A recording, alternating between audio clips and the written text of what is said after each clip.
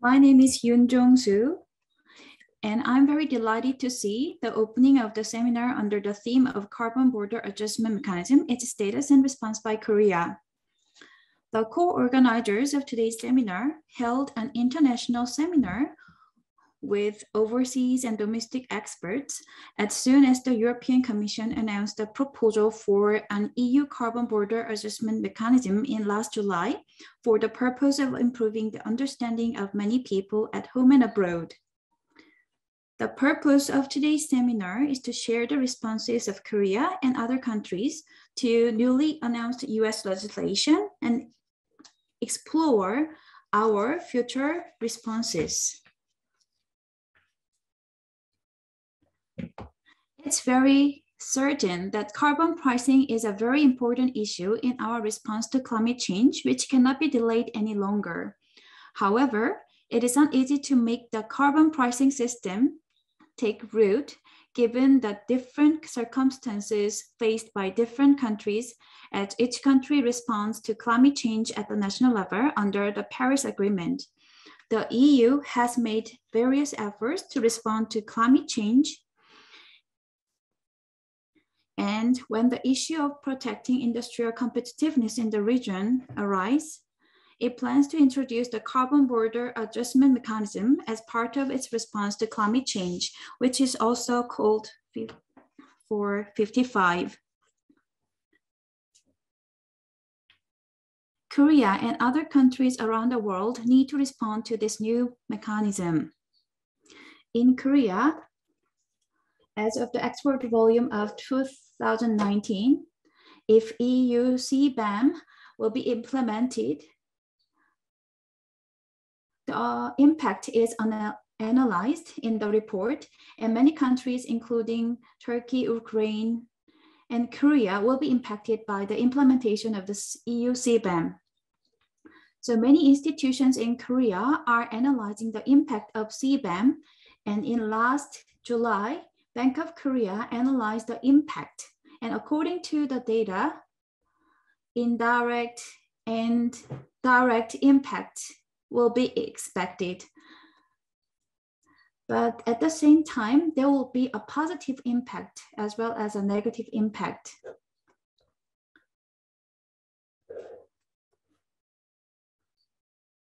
So for the European and the US market, uh, the new mechanism will help uh, Korea to increase the share of the export. So we need to respond to this new mechanism well. And we have uh, carbon related policies which are under review now. Yesterday, according to the newspaper Herald Economy, the European International Trade Commission has a European reform group and uh, they move out ahead of the original schedule of implementing uh, this system by one year from 2022 to 2025. So we need to keep close watch on the EU's development. I hope that this seminar will serve as a good opportunity to improve your understanding on the new mechanism and help you find a good measures uh, to respond to the situation. Finally, I'd like to thank CS Lab and the CGCMG and the Ministry of Environment for organizing and sponsoring this seminar. Thank you very much.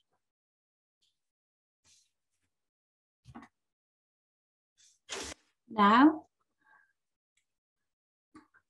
I'm the moderator of the presentation session, so I will proceed.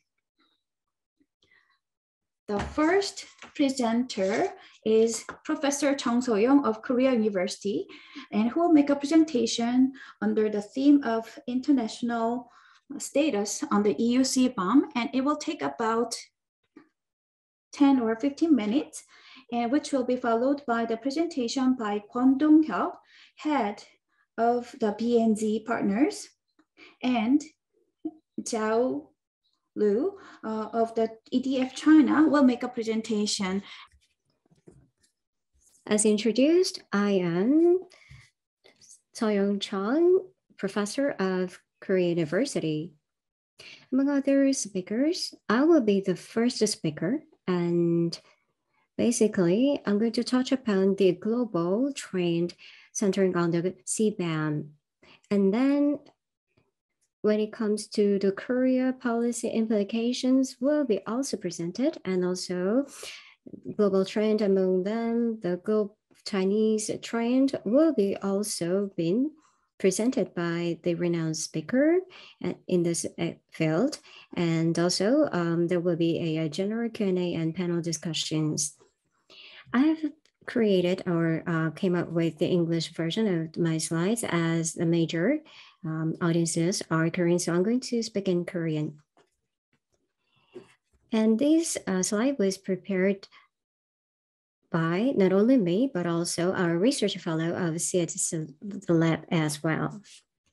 First, we need to understand the concept of the border carbon adjustment. The, this um, C, BCA is very important because when we tackle the climate issues globally, the efforts are being made by each country globally, but the situations and context and the policies are varying. So how to coordinate them will be very important. So when out of this importance, these has begun to be introduced. So various efforts in somewhat the negative impacts or undesirable effects should be reduced. And that is the very starting point of the BCA.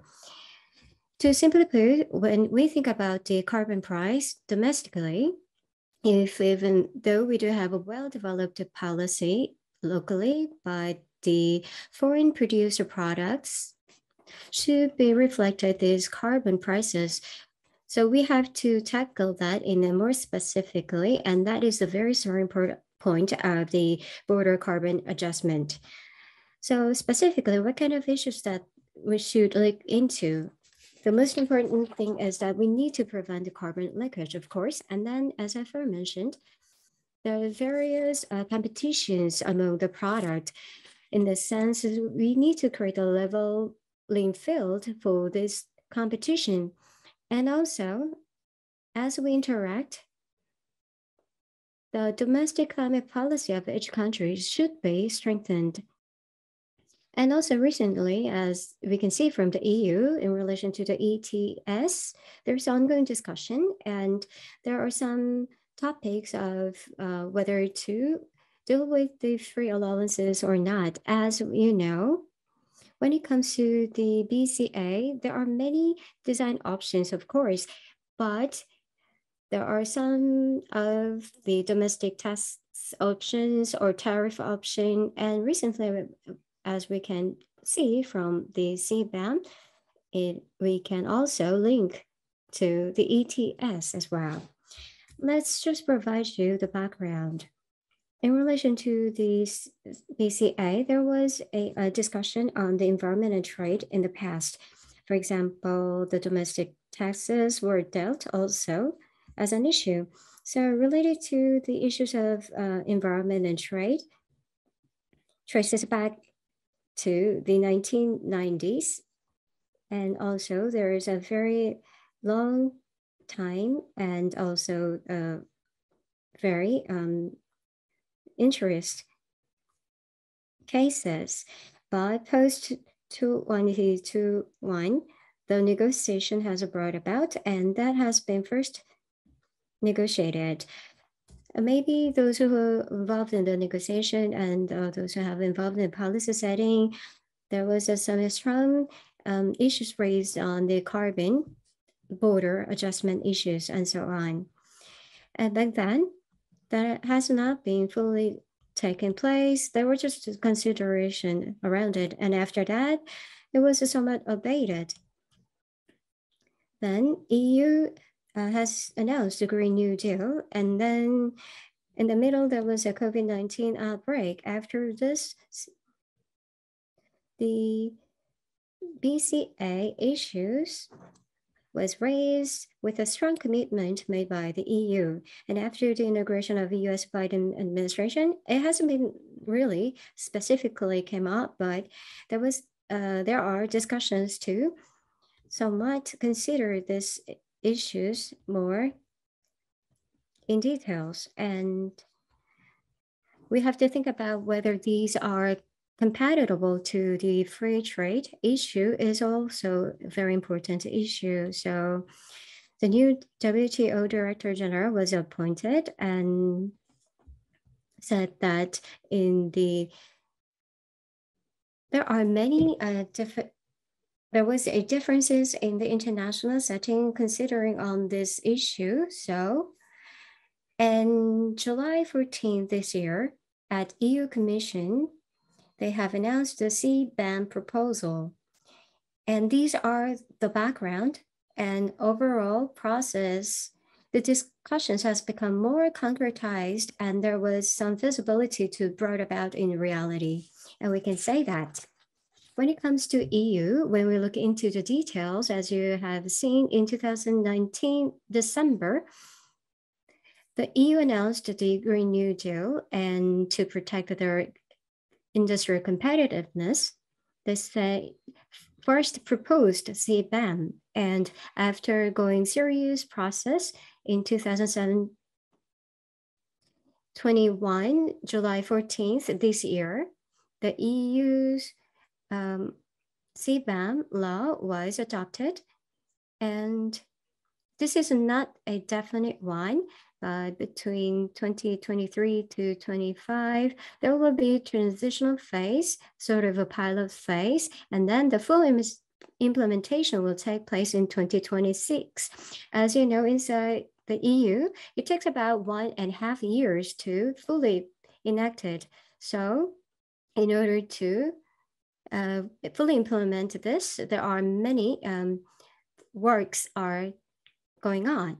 And also, the France will take a leadership role in EU uh, Commission. So, and also France is also one of the advocate, ad, uh, one of the um, proponent to the CBAM. So during this process, what kind of trend we have to look into will be very critical as well. So the proposal of the EU CBAM is as follows. This is the uh, draft of the proposal. And when you look at the chapter four, there is a CBAM certificate and centering on that, they set the price and so on. They, and when you look at the chapter nine, there is about the EU ETS issues and also various interest stakeholders are involved. So not only the technical things, but political aspects, there are very important and very critical issues. You can see. And now I'm going to talk about more about basic structure of the EU CBAM.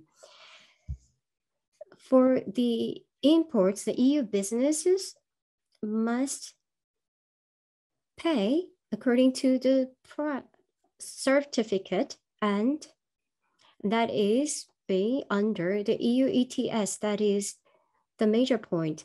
And also, if the imported goods, like uh, which are produced in the third country, for example, if our product is sold to the EU, and if we pay the price before, then that will be fully deducted.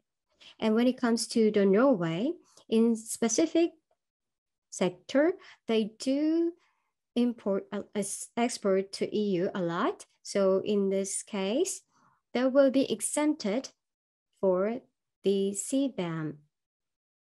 So through this, in link with the ETS, the EU announced that will run the system or mechanism. Compared to the initial proposal, the July's proposal has been somewhat alleviated and they reduced in scope. There are but five sectors. There are cement, fertilizer, electricity, aluminum, and iron steel. So there are five categories or sectors. The selection criteria for them is as follows.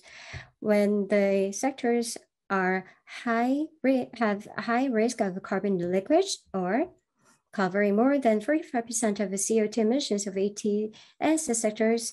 And also, there may be a lot of administrative works involved. So they also chose the administrative feasibility as an important selection criteria as well, according to EU Commission. So even if the proposal was announced and announced, but there is not a right away implementation of this, rather there will be the transitional phase. So for the CBAM, of course, if there is some uh, discrepancy in prices, so they should first collect the information. So from 2023 to 2025, there will be a transitional phase where they're going to focus on collecting information only, but not money. And then full operation will take place in 2026. This will be very interesting in terms of uh, in the perspective of EU, but the report and other things will be made by other countries uh, after the CBAM in full operation. So we have to look into a more broader um, picture in terms of the implication. Anyway, uh, EU announced that, that the full, full operation will take place in 2026. So we have to wait and see what's going to be unfold. This is one of the material that the EU has created. And when you look at this uh, phase, the transition period between 2023 and 2025, that will be focusing on collection of information. And then there will be phasing out this kind of uh, fees. For example, Fit for 55, as Vice Minister mentioned, the free allocation will be reduced a lot and there will be some remaining free allocation that will be operated with that. And by 2036 and onward, there will be a full CBAM mechanisms will be fully in operation. So there will be a gradual phase in of the CBAM. Next, in relation to CBAM, what kind of issues there will be? Well, we have to take a look at that. Of course, in various sectors and various issues can be arise. First, the scope of the CBAM. As I've mentioned, there are five sectors, and among them, there will be free allowances issues involved. So it, these five sectors from the perspective of the EU will expand further, but that will not uh, take place for like a five or 10 years, but it will take a longer time. So if that is well implemented and smoothly carried out, then the scope will be expanded. When it comes to the technical aspect, our country, another country, one of the important things in the EU CBAM, that how do we calculate the amount of emissions? The criteria or the calculated method can be very critical. So calculate embedded emissions, the standard to come up with the standard is very important for Korea. And to verify the monitoring and reporting will be very important as well. So all countries, specifically Korea, will be very important, will have a great interest in this because that will be critical. And there will be a lot of issues on related to the ETS as we have the Asian-wide ETS as a few countries with this. So how we're going to uh, come up or respond to that will be very important. Compliance with FTA. There is a existing Korea uh, EU FTA. There are broader and general um, definitions of the environmental sectors, but we have to uh, see specifically what kind of things are in compliance with the FTA with this later on. And if there's any revenues that are generated in the future, how to use that will be very critical. Whether that will be used for the industry again, or that will be used for the vulnerables or marginalized, and how we're going to consider LDCs. Well, under context of the green ODA context, will they will help the LDCs with the revenue? Well, we have to also uh, consider all these aspects later on. Next, I also um, mentioned briefly about the WTO compliance due to, in the interest of time, I cannot uh, specifically say in details, but there are some areas that we have to review, for example, NFA and FN treatment issues. So that is the very basis for the free trade and also the quota issues and also subsidies. For example, free allowance of the EU for many countries view that as a uh, subsidies. Why it is allowed to CBAM? Is it uh, it is violating the free trade? There is some criticism, but some say, specifically you say it is good because um, it has the environmental protection cause and there is some general exceptions for the environment sectors. So you have to take a closer look at them as well. And also border tax adjustment. We have to take account of the tax issues and also when it comes to the ETS, we have to review the WTO's issues as well or compliances elements as well. I haven't mentioned about the WTO and there are about a, CBAM issues and where these kind of issues will be discussed, that will be also important area. Of course, this CBAM will be implemented unilaterally by the EU, but there is a US and Canada and other countries who will follow the suit. So I believe that will be the very basics discussions in the sense, I believe the WTO will be very critical. And in G20, generally, considering the carbon pricing policy, it is likely that they will play a very important role. So I think we can find some of the uh, signals, such as signals as well. And OECD is very important. Also, UNFCCC is important in this discourse, but whether they are going to involve in this negotiations indirectly well, but we need to uh, see uh, what's going on with the UNFCCC's move.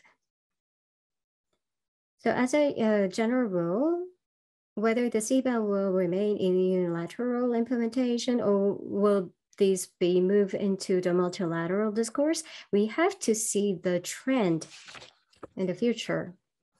As Vice Minister Yoon said that the Korea is one of the important countries for the EU CBAM. Uh, except electricity, I believe the Korea and other countries are heavily influenced, will be influenced. So I got came up with the top exporters in four sectors. So when it comes to the iron steel, including Korea, there will be a countries that will get direct impact. And when it comes to aluminum, aluminum, Norway is the top exporter, but it is not linked with the ETS, but the country will be exempted, then the Russia will be issued.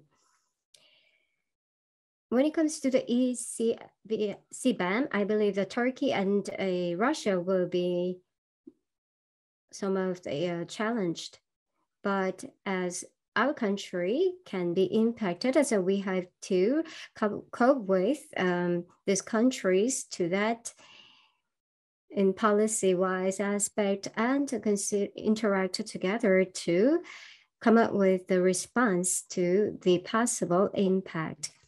And I'm going to talk about the EU in a brief manner because other speaker will mention in detail. Well, they said that they were going to uh, follow the global trend in this uh, um, in uh, reducing the carbon emissions but there is just some uh, variabilities like the political things as well. So we need to be up to date for their trend as well. And I believe the Chinese expert here, so he, she's going to talk about China as response. So uh, anyway, um, there is ETS in place in China, and some of the sectors are important, such as iron and uh, steel. But basically, China said that there is some reserve, reserved um, or position to the EU CBAM. And there are some similarity between Japan and our country because there's no national ETS. The former Prime Minister Suga said that the Japan may consider carbon pricing in some instances, but they did not move to say that they will fully cooperate with the EU in this end. But there will there are some general discussions centering on this topic. The Canada, for example, they said they were going to create their own CBAM and they wanted to cooperate with the EU. Then we have to come we need to analyze some of the policy implication, whether we need to create our EU's um, EU-like CBAM going forward. So implications for Korea. Rather than have a preemptive actions, but we need to wait and see. And we need to develop our strategy for the response.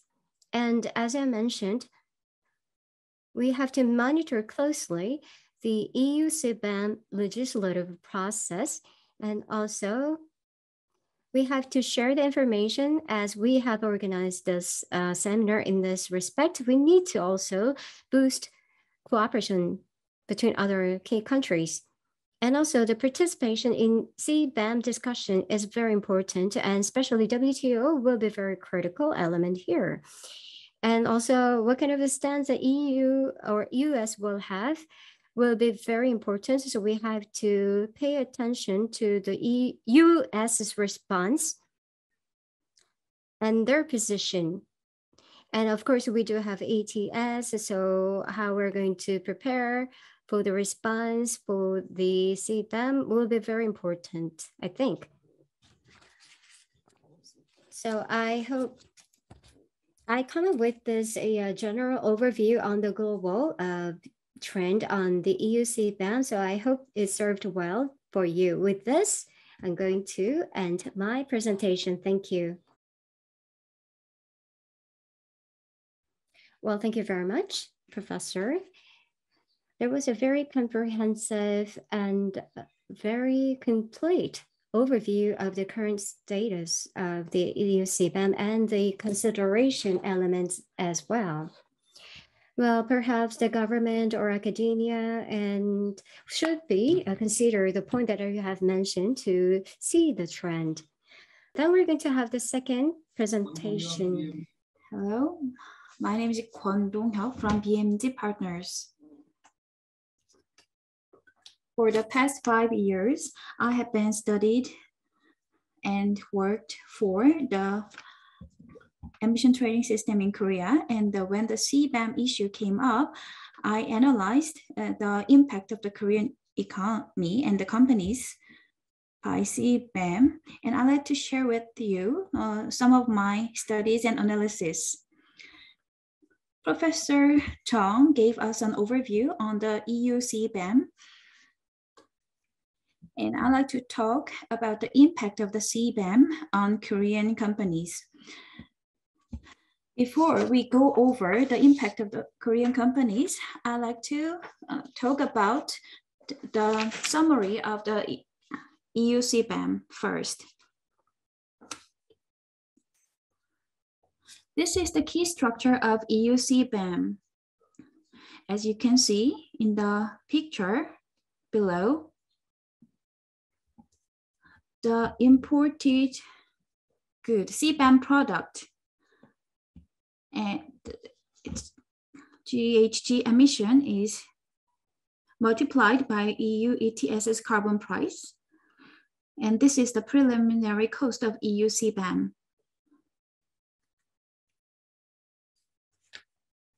EU has not pronounced how to deal with it specifically, but when we look at the details of the CBAM, you can see the link between the CBAM and the ETS. So I think that product benchmark method will be followed for the calculation of the CO2 emissions under the CBAM with necessary modifications. And second, there is a free allocation to EU companies for the same product is deducted. And it will be remaining by 2035. So the free allocation will be deducted. EU ETS and EU CBAM were announced in July this year. And for the CBAM legislation, uh, it mentioned the free allocation uh, deduction. And EU, EU ETS's legislation talks about the gradual deduction of free allocation. So we need to keep close eyes on the legislative process of those two. Industries like steel and iron and fertilizers need to pay attention to the latest development of the EU side. And the third one is the additional reduction if there is a carbon price paid in the country of origin, but there is no specific measures how to measure the carbon price paid in a country of origin. So we, we think that the calculation can be done uh, based on the carbon emissions and the carbon price under the Korean ETS but we are not sure at this moment how to calculate uh, the carbon price paid in the country of origin. So we need to wait and see uh, what development is made in this regard. The carbon price is lower in Korea than the EU.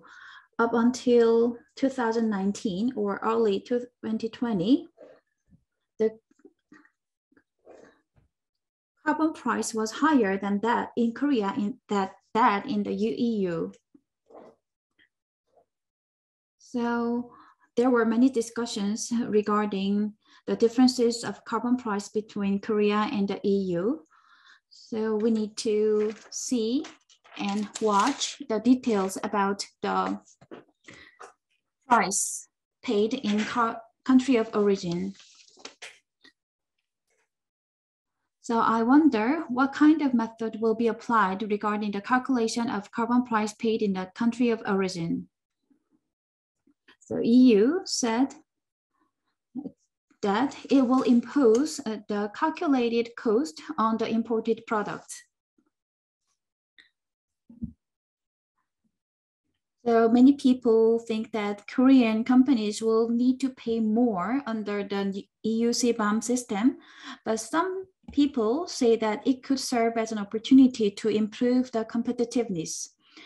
In my opinion, I think that if the EU implements the CBAM and protect the cement and iron and steel industry and apply the same system to its own companies, I think that imposing the carbon cost on product could increase the cost of production, but it will not be necessarily the lowering of the competitiveness, lowering because other competitors we need to pay for the cost under the same scheme. So it will not necessarily lead to the lowering of the competitiveness. But I think two factors are very important. The first one is how to calculate the emission correctly. And it says that lower, low, lower 10% of the European companies will be the basis for calculating the carbon emissions if there is no clear evidence and no clear method of calculating the CO2 emissions. So it is necessary to calculate and verify the embedded emissions correctly. And the second important thing is to reduce the carbon intensity compared to competitors. So to increase the competitiveness, companies need to reduce the carbon intensity. And with this background, I'd like to talk about the Korean companies' cases. And if companies need to pay the cost of carbon, there is a mechanism that consider the cost paid in the country of origin. So as a Korean government, it is better uh, to make the companies pay the price in Korea, not in Europe. And to prevent the outflow of the national wealth, I think it is very important to make companies pay more in Korea. Second, I'd like to talk about the KETS status and net zero plan. Korea implemented the first carbon trading system in 2015, and as of 2022, we are in the third phase. And according to the Korea ETS system, I think some countries have laws related to the ETS, but in Korea, it will be implemented at the five minute, five year interval. And the phase two started in 2018 and the auction and the free allocation started And in the phase three, there will be 90% free allocation on non-CL sector. It means that 10% auction. When we look at the figures, Korean system may not be strong enough and strict enough. And the third one is that as of 2021, 684 companies are included in the KETS. And all companies that meet the certain requirement are included in the KETS system. And direct and indirect emissions are regulated under this KETS system. So KETS covers about 73% of the country's total emissions. And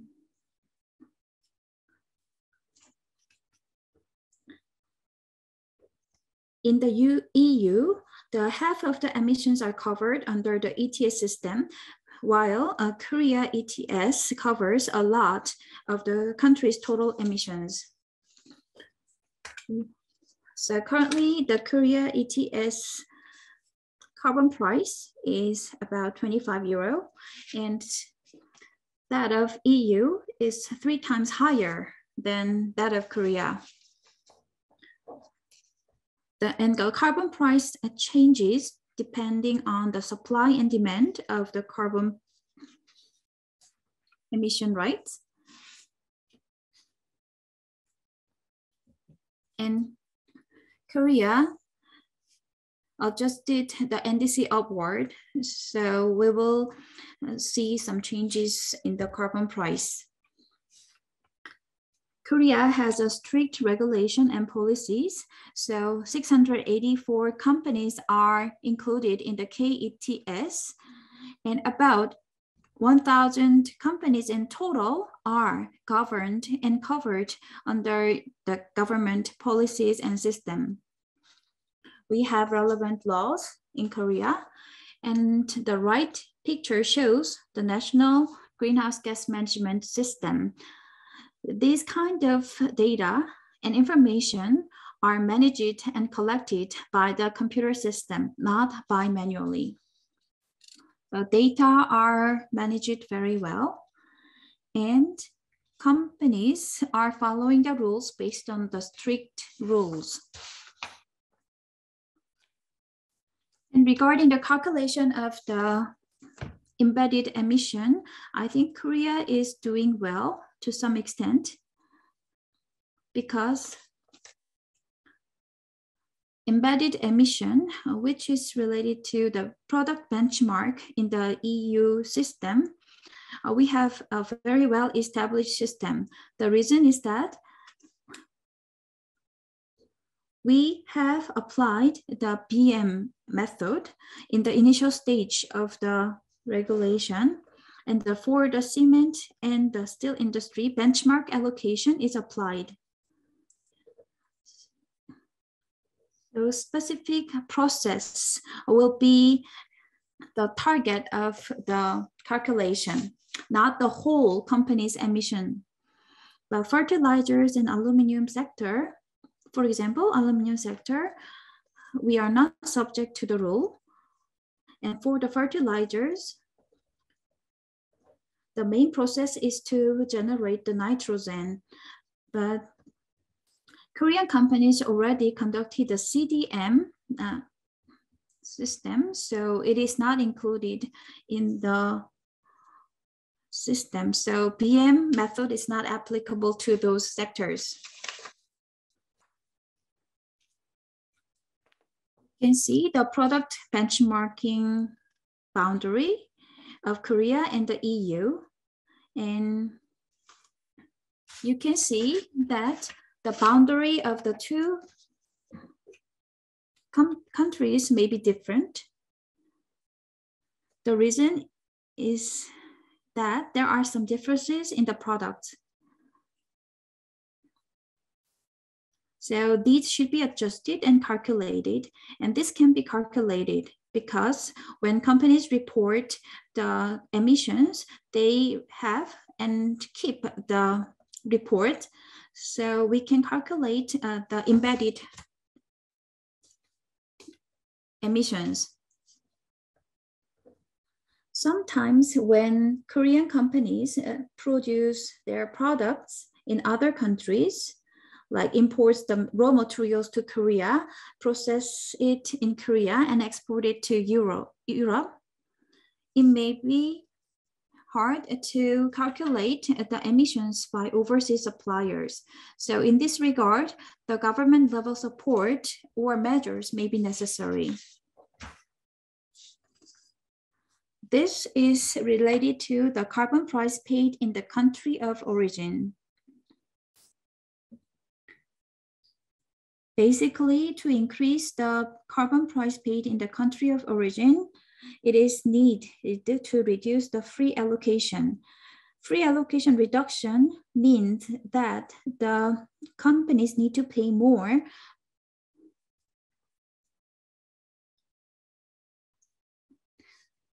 The first one is that for Korea's cement and other industry, benchmark method is applied.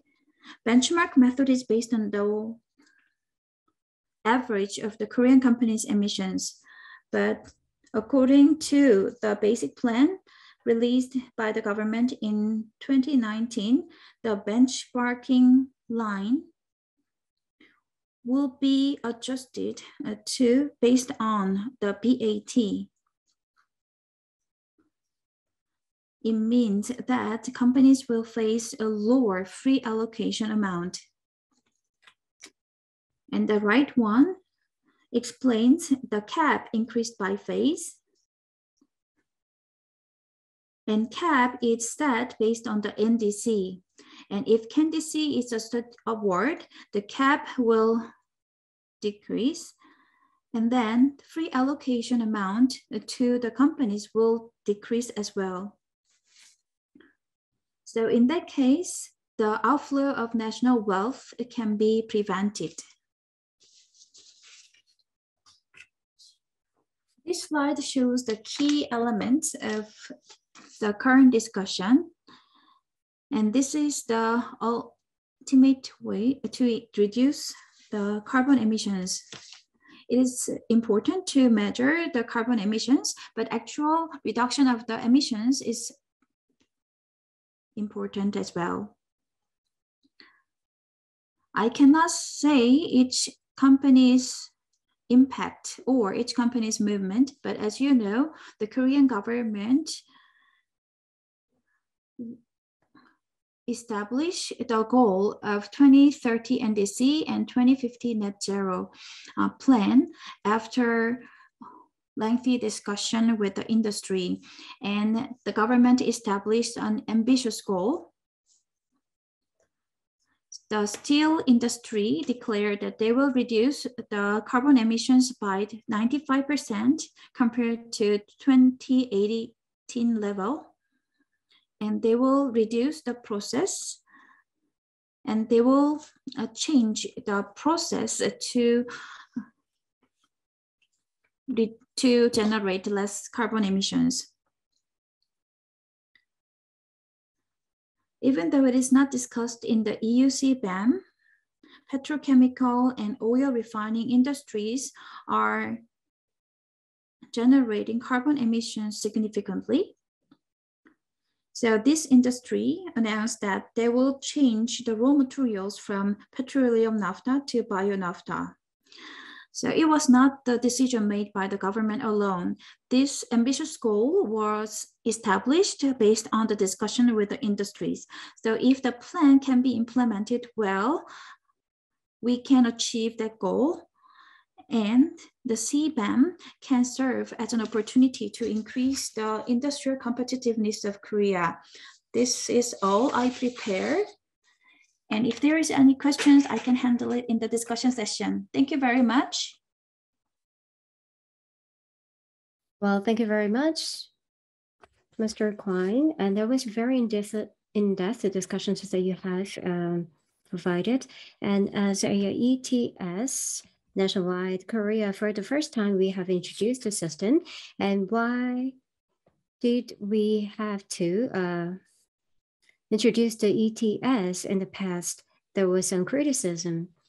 And I believe that uh, in the hindsight, it was a really good um, preemptive action that we have taken. And also, we have a high level of transparency. So compared to other countries, maybe this could be some of the burdens to the industries, I think. So Ultimately, as you mentioned, for the carbon neutrality, we are stepping toward with the great commitment. And I believe that, uh, thank you for your presentation in the sense, and I do agree with you very well.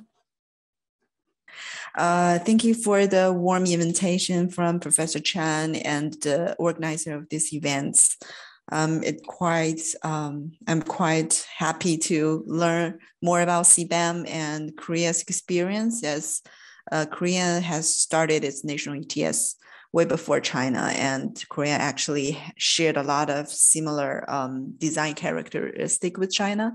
And um, I'd like to share a little bit of my personal view on China's um, situation right now.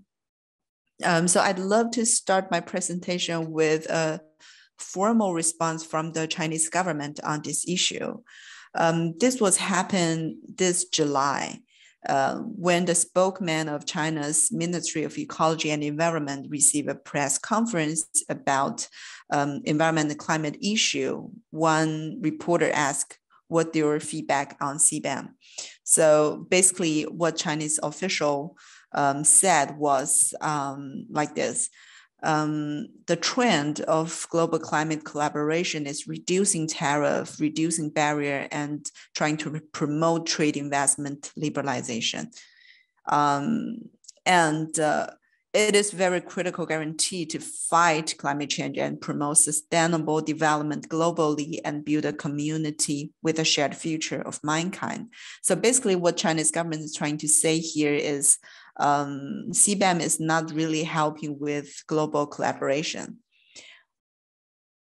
And also the spokesman said it is a unilateral measure like what Professor Chan previously mentioned. And they consider it more of a trade policy than a climate policy. Um, and it's maybe kind of violate the WTO rules and could damage the mutual trust between different parties, especially between the developing country and developed country. So it expands climate change issue to trade areas. Um, and also it's not really consistent with the principle of UNFCCC and Paris Agreement as um, a lot of the climate change world, people talk about CBDR, for example, and the Paris Agreement was considered a bottom-up approach. Um, so it could harm the enthusiasm and ability of all parties to deal with climate change issues. And also the spokesman elaborated a little bit saying that by pushing um, a CBAM from EU, you still need to do a lot of other efforts in order to do it scientifically. For example, like the previous two experts talked about, um, a methodology, a MRV methodology, accounting methodology, and calculate what are the embedded carbon footprint of different um, different products. And historically, EU and US, uh, right now, EU and US count for over 20% of global greenhouse gas emission, but historically, EU account more than a quarter of accumulative historical emission. Um, however, developing countries uh, have less and even less per capita emission. Um, so EU need to be careful about the disagreement between different uh, world. Um, so they think uh, multilateralism is the way to solve climate change issue. Uh, but on the other hand, China is also um, prepared, trying to get prepared for this um, policy that may come in the future. So um, because China considers more of a trade policy, so I want to talk a little bit about the trade between EU and uh, China. So China is currently the world's largest exporting country uh, to EU and EU's biggest trading partners. Um, so uh, currently, the embedded emission of EU's export to EU, uh, uh, China's export to EU are relatively high, mainly because the energy consumption structure of China is more um, on coal and the production technologies, and also the proportion of carbon intensity goods that's uh, been exported to EU. And it is estimated that in the year of 2014, around 26% uh, of the embedded emission in the EU import came from China. So based on an estimation conducted by Tsinghua University, one of the top universities in, in China, it indicates that in the year of 2018, the emission embedded in China's import from, from EU is about 30 million tons of CO2 equivalent, um, but the exported emission reaches 270 million tons. So it's huge difference here. So significant difference in import and export makes the EU uh, um, makes the EU-China trade difference, and it's one of the critical uh, thinking beyond behind this uh, CBAM infrastructure design. So about industries that will be influenced. So in terms of the uh, value of good transport from uh, China to EU, um, basically the machinery, the electricity products, textile, metals, chemicals are of the most value. Um, and also they are on the carbon leakage list of EU ETS, but they are not very likely to be included in the first phase, uh, as indicated previously um, because of various reasons. Some of them because of the complexity of uh, MRV methodology, and also they are not in, embedded with huge carbon emission footprint. Um, so the most likely industries to be influenced are iron steel, cement, and aluminum. Um, power sector is not really one of it because it's not really trades um, between China and EU, although it's uh, considered as one of the key sectors by CBAM. So these three sectors have relatively solid data foundation and very simple uh, value chain and a huge amount of um, trade between EU and China. So they are likely to be think about to covered in the first phase. Um, so this um, the topic is relatively new, um, but a lot of researchers has been doing research related to this. Um, so here are a list of research um, results by different um, by different experts. So basically, because of CBAM design hasn't been finalized yet, um, so it's there's a lot of uncertainties, and basically whether to cover the entire life cycle emission or footprint of a product or only part of it, and whether it's based on China's average carbon intensity or it's based on the EU's carbon intensity, and what is the price difference um, so it influenced the, the, the, result a little bit. But in general, the result is China's um, export to EU will be reduced or the cost of China's uh, export to EU will be significant, uh, significantly increased um, because of CBAM. So according to to to some of, for example, according to the CBAM proposal Annex One and um, the UN contract list, um, climate change. Uh, the Tsinghua University has done the research um, to see uh, how China is influenced by the CBAM um, potentially based on 2016 to 2020 data. So based on based on these assumptions, um, China's uh, total value, trade value influenced by CBAM will be around 6 billion US dollars, representing 1.8% of total of China's total export to EU. So uh, three quarters are from iron steel, one quarter is from aluminum. So cement, fertilizer are relatively small. So if we, we don't consider EU's free allocation, um, so the carbon, uh, and we assume the carbon pricing difference is around for, uh, 52 US dollars per ton, uh, which is, is even more right now. Um, the China's export to EU cost will increase by 300 million US dollars, representing around 5% of total. Um, so, but that's very rough um, research results. And a lot of questions are actually raised by the industries uh, because they're considered, uh, they've no idea how much they will be influenced because of this question. For example, whether life cycle emission will be considered, for example, aluminum, majority of them are coming from the electrify process. Um, and whether direct and indirect emission will be both considered because Korean ETS and China ETS both consider direct and indirect, but EU only have direct emissions. And what about information disclosure? A lot of enterprises is concerned about information disclosure rules that CBAM asked uh, to disclose more information than they are right now with current uh, legislative measure requirements. And also linkage with ETS, like previous two professors talked about. EU right now have free allocations. They haven't phased out um, free allocations.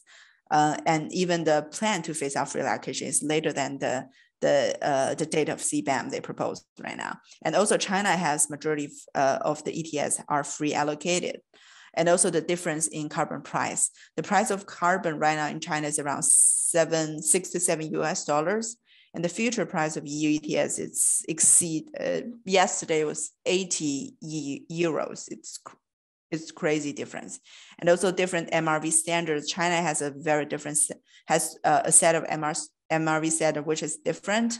Um, so whether this company will need to um, will need to follow both countries' uh, MRV standard will be another question. Will uh, will significantly increase their uh, cost and uh, their preparation for climate policies, and, and also difference in compliance cycle.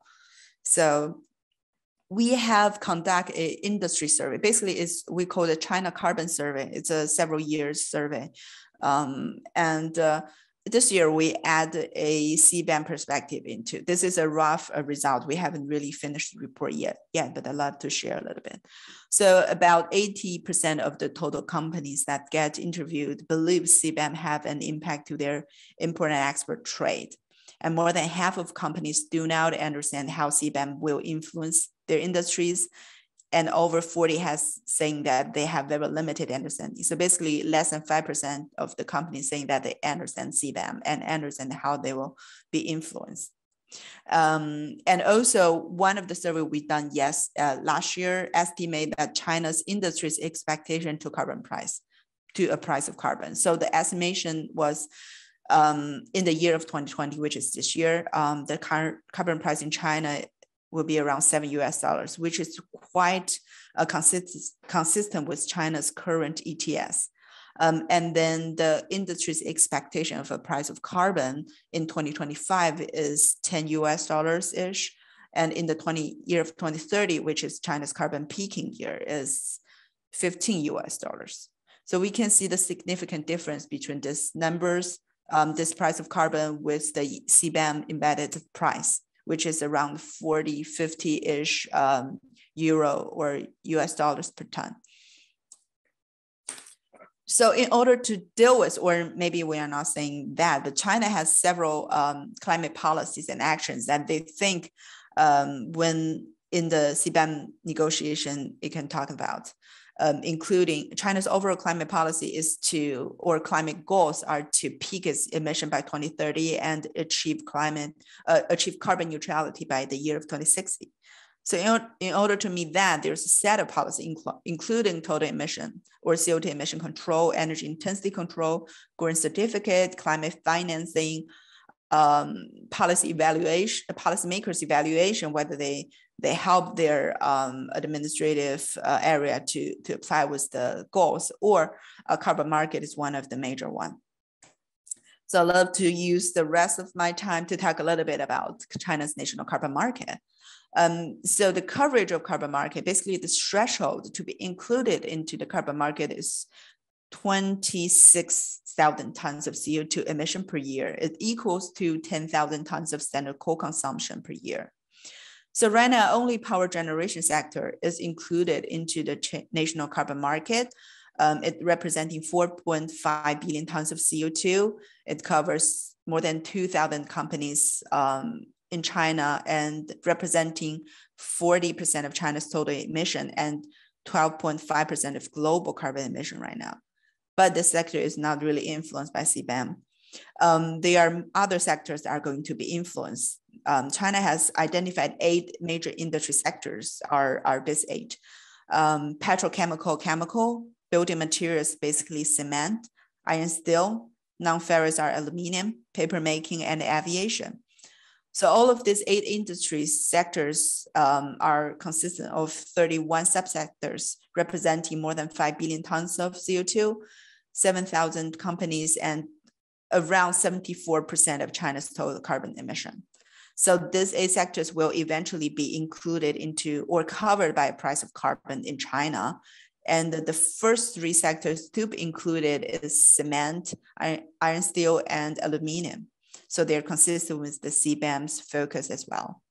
Um, so the current trading situation right now in China, uh, China kick off its online trading or secondary carbon market in the July 16th of this year. So by now it's around six year, half a uh, six month, half a year. So the total trading volume um, is 40, uh, it's exceed uh, 48 million tons of CO2 and trading value exceeds 200 million ton, uh, a million RMB.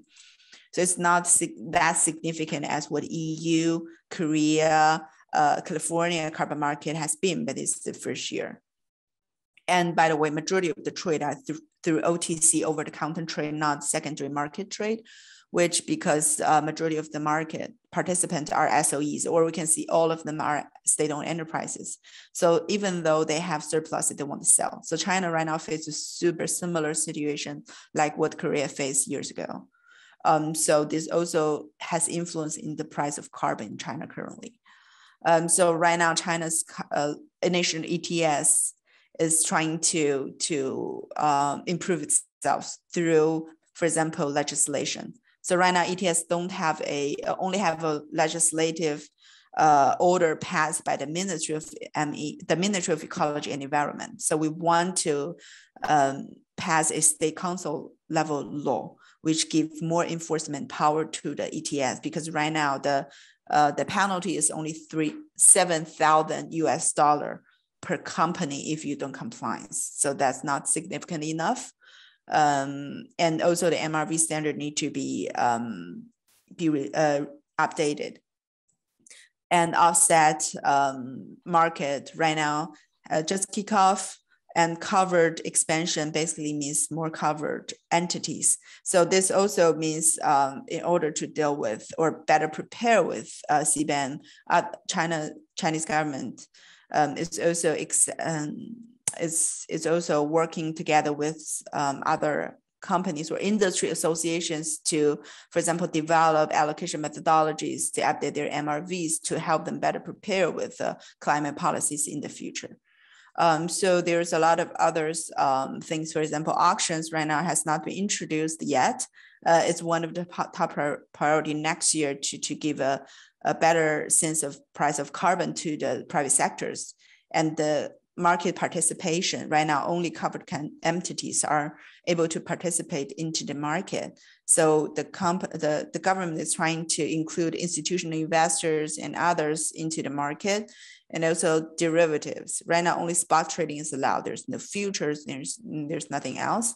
Um, so all of this will help China to have a more valuable or effective price of carbon and maybe increase the price of carbon in the future and then uh, have a better understand, understanding of um, climate policies and understanding of how the enterprises will deal with the, the climate policies in China or internationally. So, so that's my presentation. Thank you. Okay.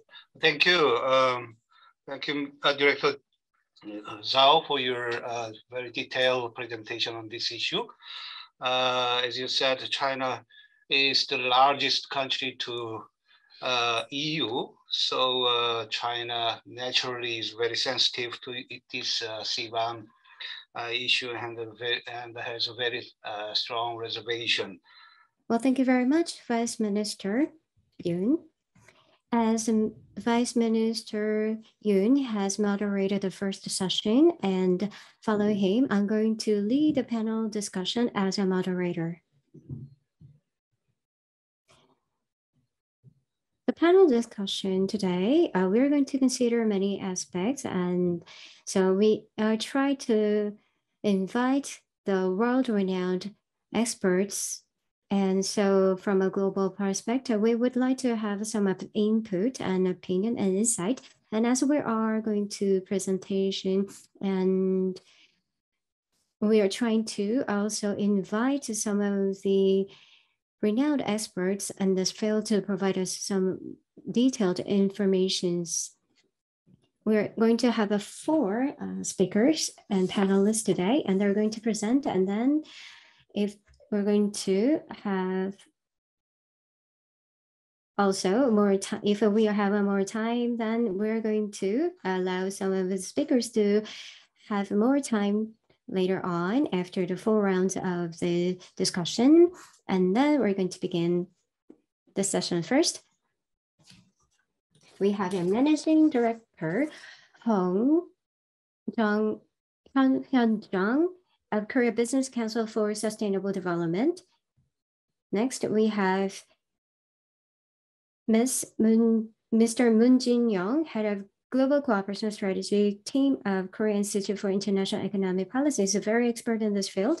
And also he sat next to me while discussing an, in a seminar which we're dealing with the CBAM issue. Next, we have a research fellow, Mr. Kim Song Jin of KEI. After joining the KEI, he's an active member in other areas and fields, and he is very interested in this CBAM, and he is a very renowned person in this field. Next, we do we have um, Dr. Lee Go-eun, research fellow of CSD Lab. She recently earned a PhD and then she is an active member of the CSD lab. And this is a very late hour and I would like to thank her for participating today.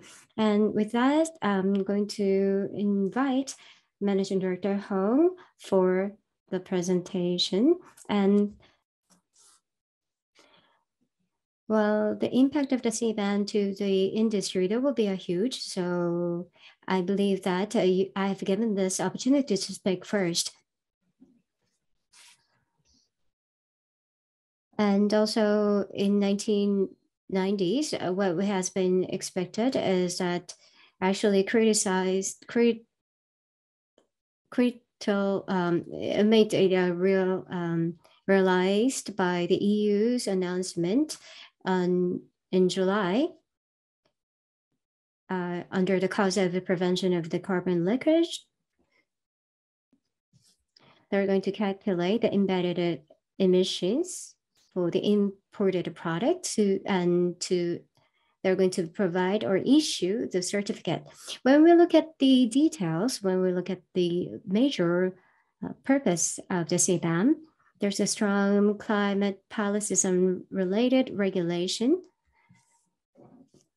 are formulated to respond to the ever waning their competitiveness of their industries. Of course, they said that they are going to prevent the carbon leakage as well. And that is one of the cause. And the other is it the global a part of the global agreement that I wanted to extend their efforts to increase the level of the participation into this agreement. So there are a couple of the goals of this mechanism. And maybe that is similar to China. And as uh, Dr. Lulu uh, mentioned, in fact, when these have been implemented, the fair trade order will have great change. When it comes to the greater cause, they said that they are not going to undermine the fair and just trade.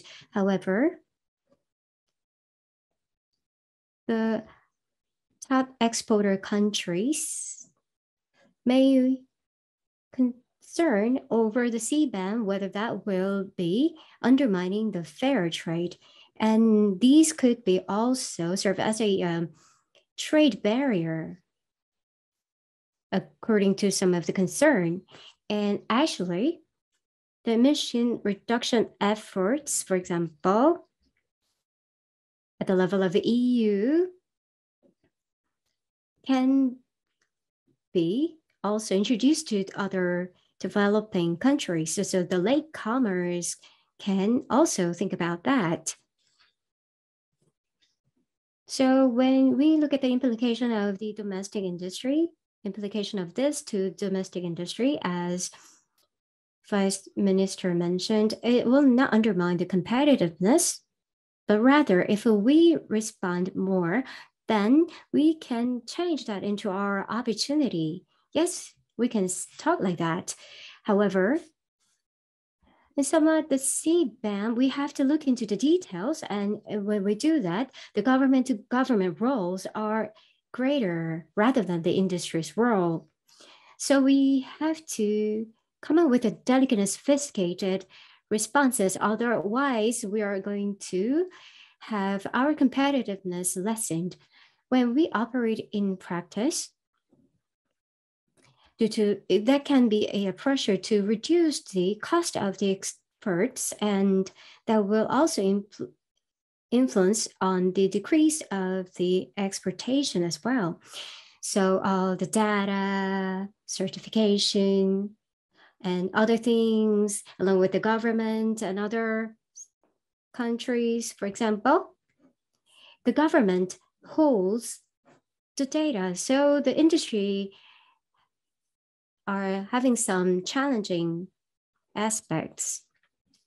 Now, the allowances, for example, we can have some of the opportunity to offset some of the challenges. But when we look at into the ETS system, then we can think like that.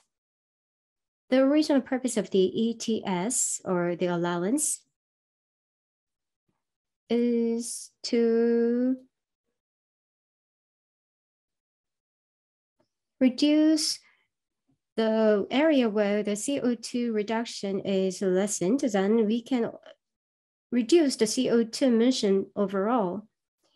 You can think that ETS is running well, operating well, but if there's any changes or replacement of raw materials or reduce the number of operations or purchasing the certificate or allowances. Well, these will be the challenges. And also if we finance uh, support these uh, small and medium sized companies so that the unique uh, energy industries to be used will be desirable way but they are going awry with the original purpose in practice. So they just buy the credits and so on. And also the technical support, for example, replacing the fuels and so on could be one of the example and only 15% of these kind of technologies are viable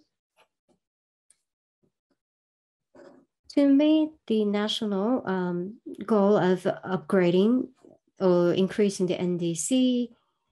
There are many investments are being made. However, the economical impact or the cost impact among the companies are still in initial stage because they do not have a set uh, method for the calculations and so on. So if we get all these details and if we consider well, and then we can respond to CBAM very well, I think. Because uh, we just are now seeing the surface of the CBAM, but we have to see the details of it to respond properly to that. So when it comes to free allowance, let's say, we have some exemptions inside this ETS scheme. And there are many other fringe conditions as well. And when we get this permission from the authorities, and that will be some of the areas that we have to address in advance. Otherwise, we can get a pricey um, credits or allowances. So we have to come up with the responsive process at the level of the authorities. That's all. Thank you. Thank you very much for your remark. Technology innovation has been pursued by the industry and in response to climate change, industry has an awareness that they need to do more, but by sectors or by plant site, they face different circumstances. So when we consider all those things, it may be hard.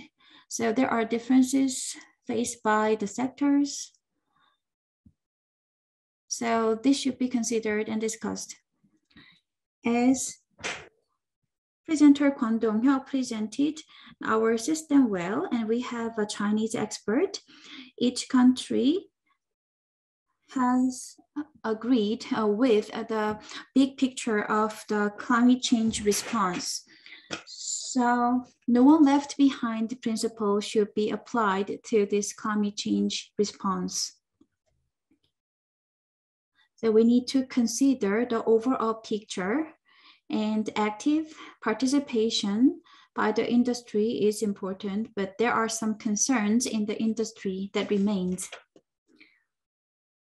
Second, I'd like to invite Moon Jin Young, Head of Global Cooperation Strategy Team of KEIEP. Hello, my name is Moon Jin Young, and I'm working for the Global Cooperation Strategy Team of KIEP. Thank you for inviting me to this meaningful forum and seminar, and I learned a lot from the previous presentations. We have studied these environmental issues. And as Professor John pointed out, we analyze a lot about the scenarios, like how to apply the ETS tax. And when we had a discussion with stakeholders, it was hard uh, to find their preferences. So when we surveyed on a scale of one or two points, there were no strong preferences by the stakeholders. It means that they agree the overall picture, but even within the EU, there are some differences of stance and circumstances faced by each country. So regarding the specific method, there were no uh, agreement.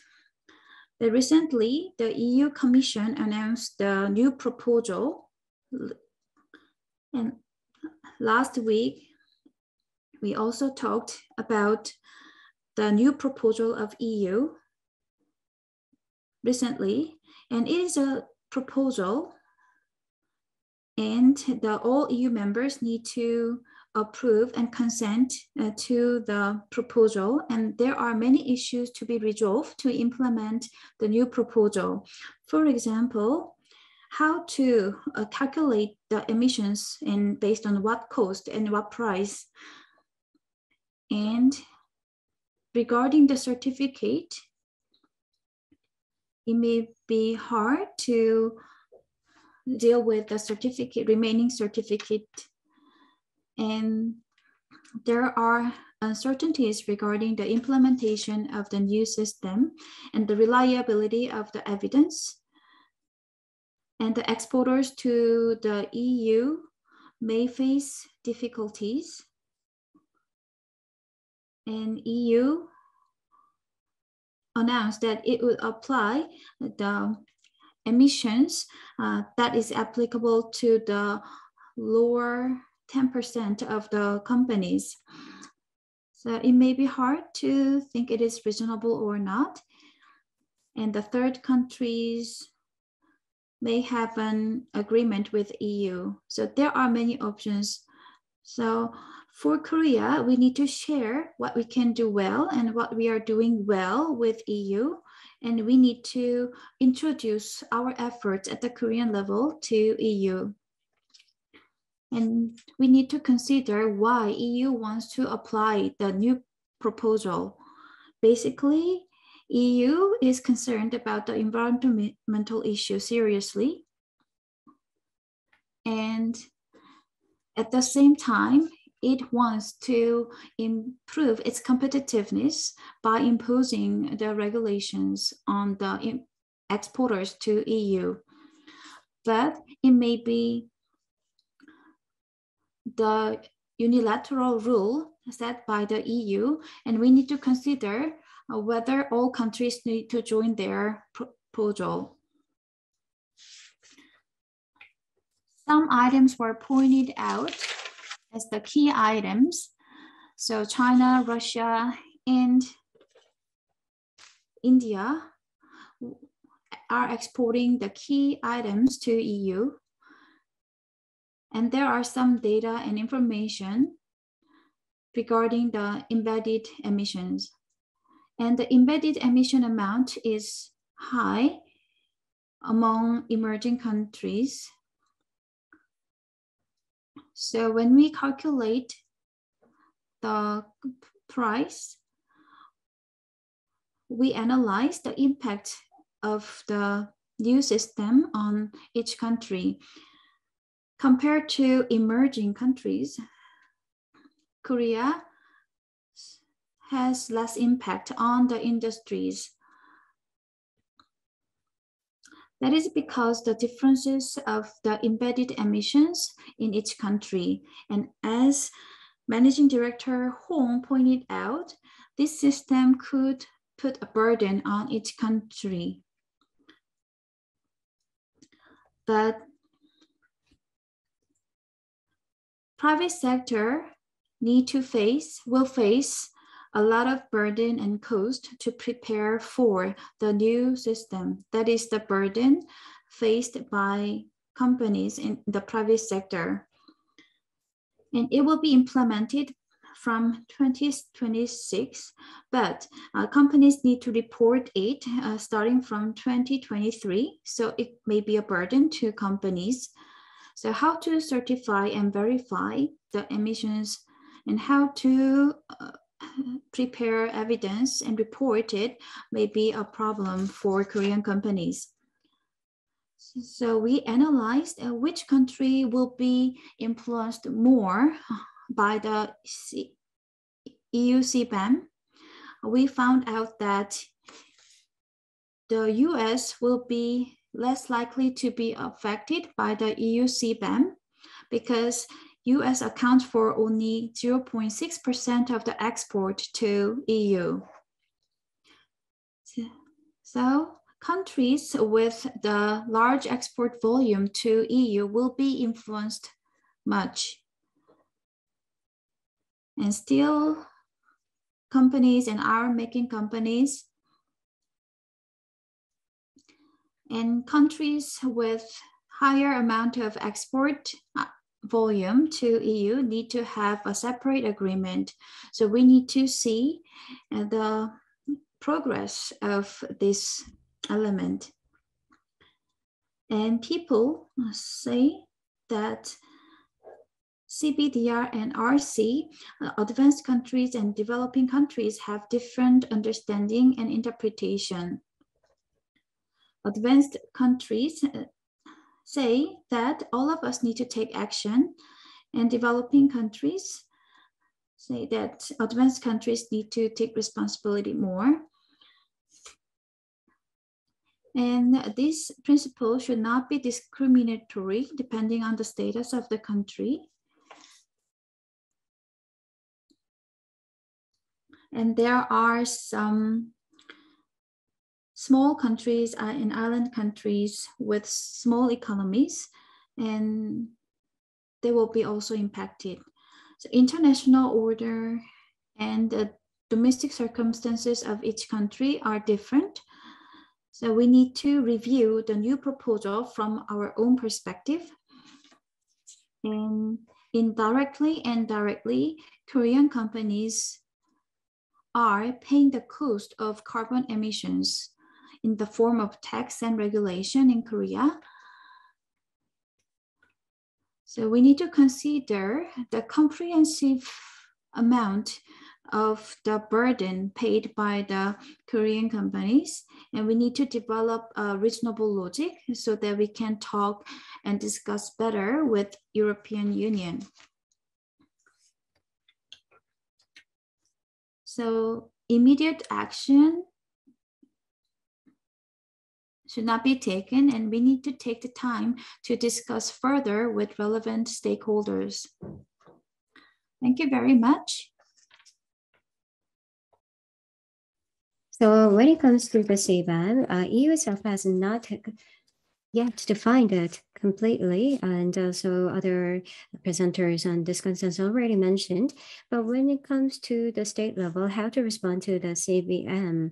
Well, one of the major points that Ms. Dr. Moon said that we have to consider everything, and also from that, from my perspective, well, nobody will agree that the carbon price is important, and nobody will agree that the we should not uh, respond to the climate crisis. So we have to pull our wisdoms and also we have to respond to these issues, I think. Next, I'm going to uh, invite Dr. Kim Song-jin for the presentation. You will have eight minutes. Hello, I am Kim Song-jin from KEI KEI. Thank you very much for the invitation. I learned a lot and I do have a, a, relatively short experiences, but I have a lot of considerations, so I'm going to share my idea. Broadly, I would like to divide into two topics. One, in a broader context of the CBAM, I would think I think we need to look into that. Uh, the second is the detailed strategies or plan for the response.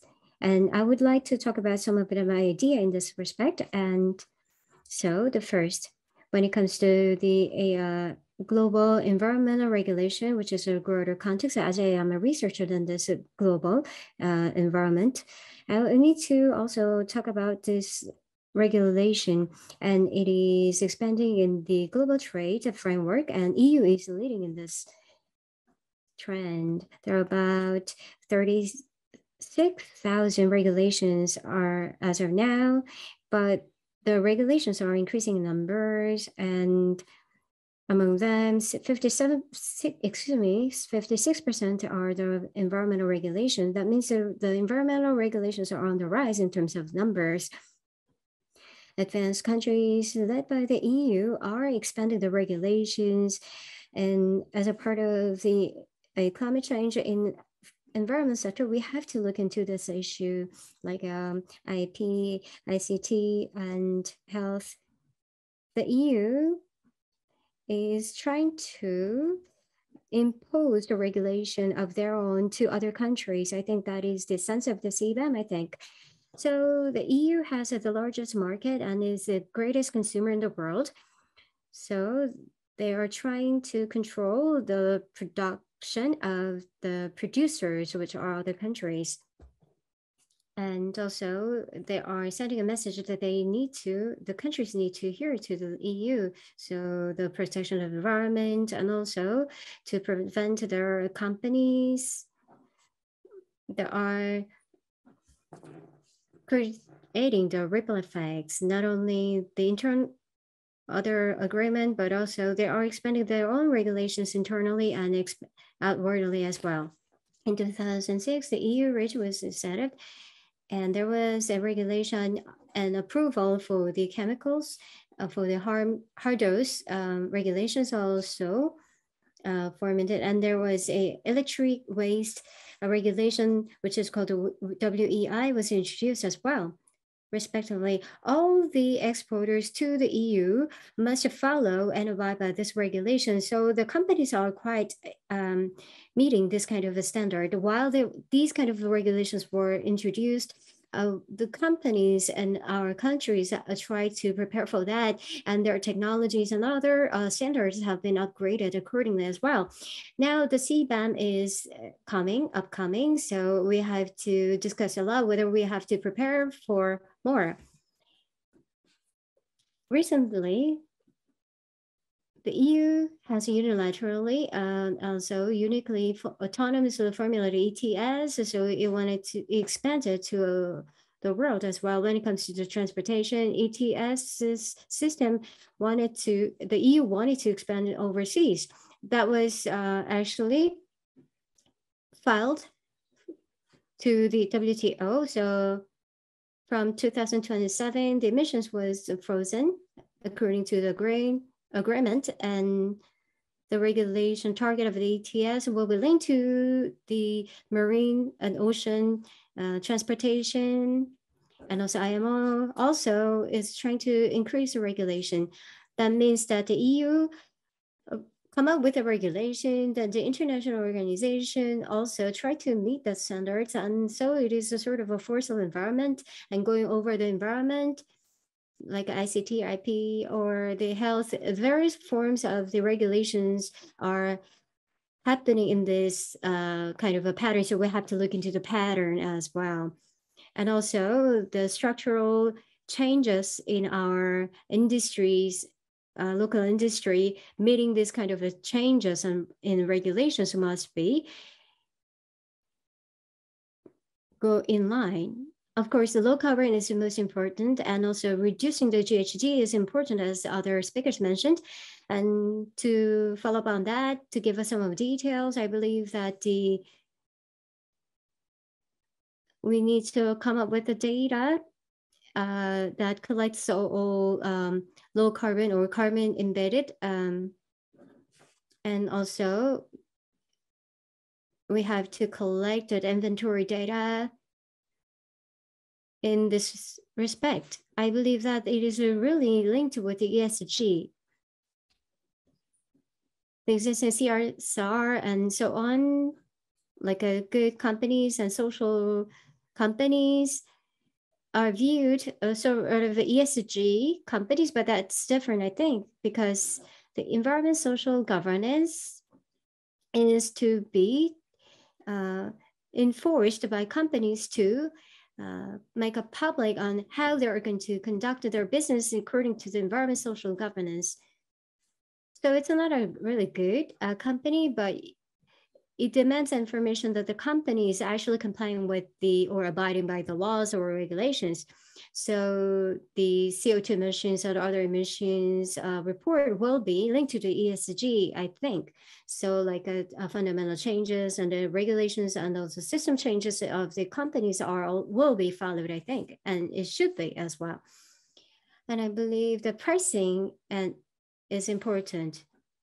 There are about 75 dollars per one T CO2 equivalent as of now. But as other uh, people mentioned, the deduction is quite uh, clear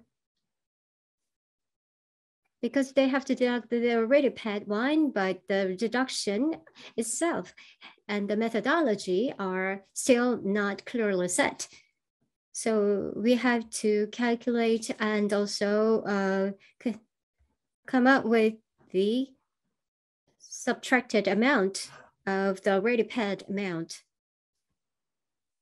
So I believe that uh, we have to come up with these uh, things in a more urgent way. So for that, we need to have data first and also impact assessment that is important. Now we do consider the existing industry when we do the impact assessment. The China wanted to come up with this carbon neutrality.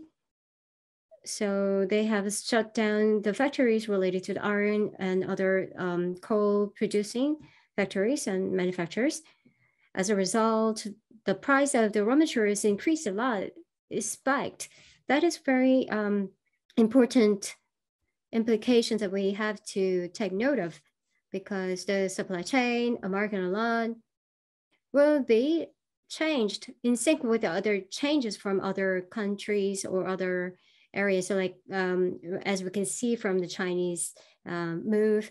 And so the Turkey and Russia, which will be affected by the CBAM, um, also uh, will create some of the effect. So now we have to consider all and all the experts must join forces and pool wisdoms to respond to that, coming up with this um, wise solutions. The we have contracted with the EU Council while we are introducing the ETS as it was unfamiliar to us. So we had to get the consultant services for that. For three years, we have about um, 500 mil, excuse me, um, 5 mil, billion uh, wine to get the consultancy so to that end, for the CBAM, we need to get the support in this end. Also, we have to nurture talents accordingly to fit with that. Well, in terms of the environment, he made a, a comprehensive comment in a short period of time. Well, how the regulation on the environment evolved, the OECD has played a very pivotal role. So it has developed as an international regime. And also there is a clear contribution by EU. But under, on the other side, on the other hand, as we have seen from the Kyoto Protocol, there is a distribution system in the world. So in order to extend into each single state, whether that was what EU wanted and what was the role that US has played, we have to look into that. But as you rightly mentioned, when it comes to carbon pricing, I believe that EU has really initiated all this game. So we have to think that in a diverse perspective, and when it comes to the response, he mentioned in very details. While I was listening to him, the information and data of the world must be collected. And that is important, I think, how we're going to present to the EU and what kind of adjustment or coordination that we have to make. Well, I think that is important in the sense we have to come up with a standard to come up with the carbon pricing calculation. So I think that in the sense, Mr. Khan said that, that we have some strong point here. And other than the ETS, there are other characteristics that we have to work on. If the next president comes, then I believe that there are a lot of different um, stakeholders. So I believe that we need a lot uh, coordination in the sense the new leadership of the new president will be important. So we have to pay attention to that. We do have a two major presidential candidate hopefuls. So, so probably the, these two individuals will aware of that. So let's take pay attention to that. Last uh, discussant will be Dr. Lee.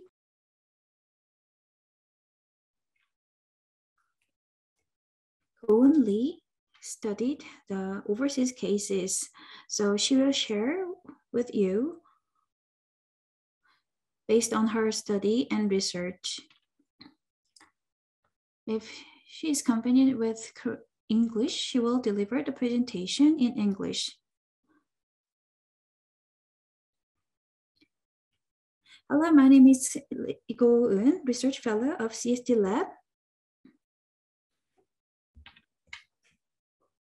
It was helpful to listen to the cases of Korea and China and overall system of CBAM, and I will deliver my presentation in English.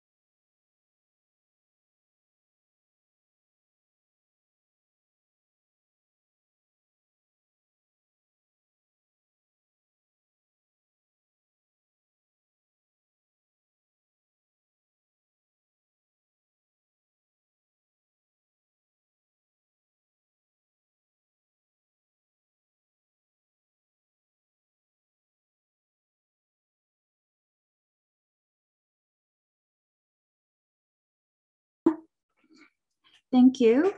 Professor Lee shared the analysis of the US cases and the Canadian cases, and she had an interview with the key stakeholders in the US and the Canada. And sometimes I think that there is an EU system which has advantage, but US does not have a interest. Norway is not linked to the ETS, but you, Norway had an exemption uh, from the EU CBAM. And uh, EU's main target is not the US, according to some sources. And for Canada, it's interesting case. Canada has its own system, which is called BCA. I'm not sure whether it, what kind of system will be implemented, but they develop their own mechanism to respond to CBAM. So all countries agree with the basic principles of the climate policy, but specifically they have different circumstances and options. So we need to cooperate together and some good suggestions and words and recommendations were made by present, pre previous discussants. So overall, we need to think about the overall opinion to find a good way and good solution for Korea. Thank you for your suggestions and proposals. And I'd like to give one or two minutes to the two other presenters.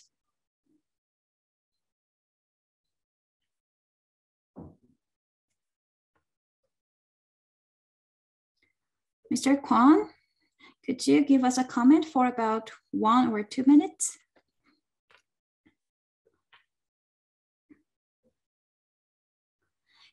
As Managing Director Hong presented, the role of government is very important, and I'm fully agree with that.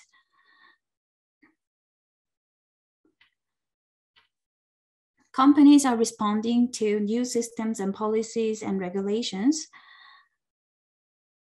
And Korea followed the EU ETS model with necessary modifications, but we need to think about how to get some exemptions or reductions at the national level.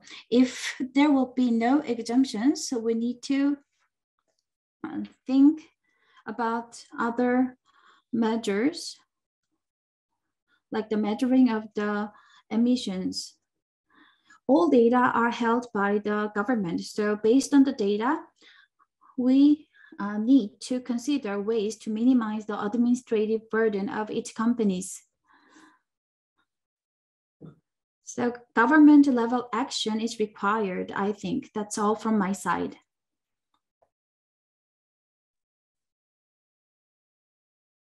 Thank you. Um, it's it's wonderful to to to listen to all of these experts' um, point of view. So I'm a true believer, strong believer of market mechanism and price of carbon, and uh, I've been working on the ETS for over ten years in China. So so but always I I believe uh, ETS is not the goal.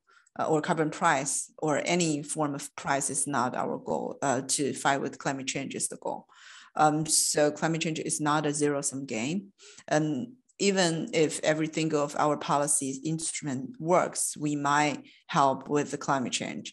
Um, so I think collaboration is one of the core. So whether CBAM will be a effective tool or not, it really depends on how they frame CBAM or how the detailed design is. It should be a policy, and we hope it could be a policy that encourage carbon uh, emission reduction than just a simple trade um, policy. So, so I, I do believe that collaboration not only between U.S., EU, um, or e, it's only a policy between EU and China, and like it's it, there should be more dialogue between, for example, Korea and China or Japan and all of the other countries that will be influenced. It should be an, a helpful mechanism to, to go forward. Thank you.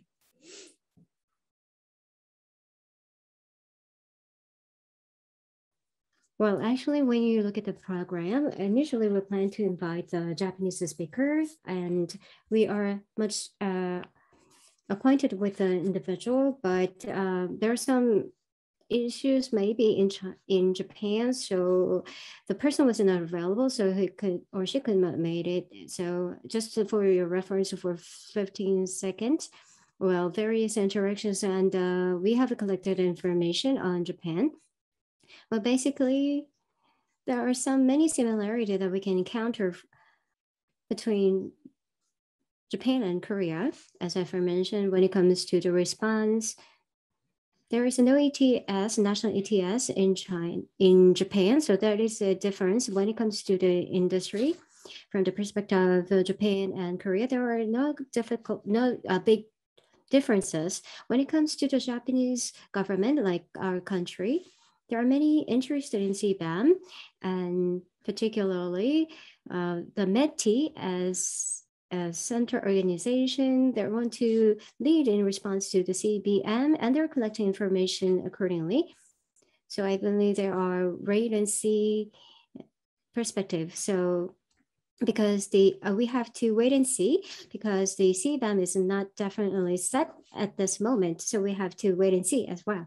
So there were many comments uh, from the experts, but I believe that the major key countries should share information in good sense and also to enhance their understanding together and collaborate something that they need to collaborate. As uh, Dr. Zhao Lulu said that we are not going to um, it's not an issue just deciding the CBAM or not. What we have to do is to end the climate change. So we have to come up with the cost-effective uh, policy means to meet our goal.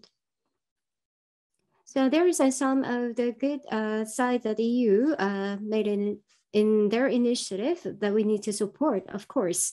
In this sense, we have shared the global community trend. And also as we do have the ETS system, so there's some information that we shared. And also when it comes to the trends in the key countries like Canada, US, some of the information and data were shared today. And uh, we have invited uh, renowned experts from in, in fields and according to their in opinion, if the new president got interested in these issues, then I believe that that could be one of the good um, opportunity that we could uh, provide some of the good uh, food for thoughts by collecting the data and the information and insights from the experts.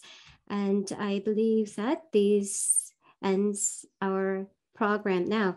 And from the perspective of SD Lab, this is the second seminar because we had this July. And going forward, we're going to hold this uh, continuously, the seminar to build stronger network. So in this sense, I would like to thank for your interest. And also I'd like to especially thank Dr. Zhao Lulu from China. With this, I'm going to conclude the seminar. Thank you. Thank you. Thank you. Good job. Thank you. Thank you very thank much. You. Thank you.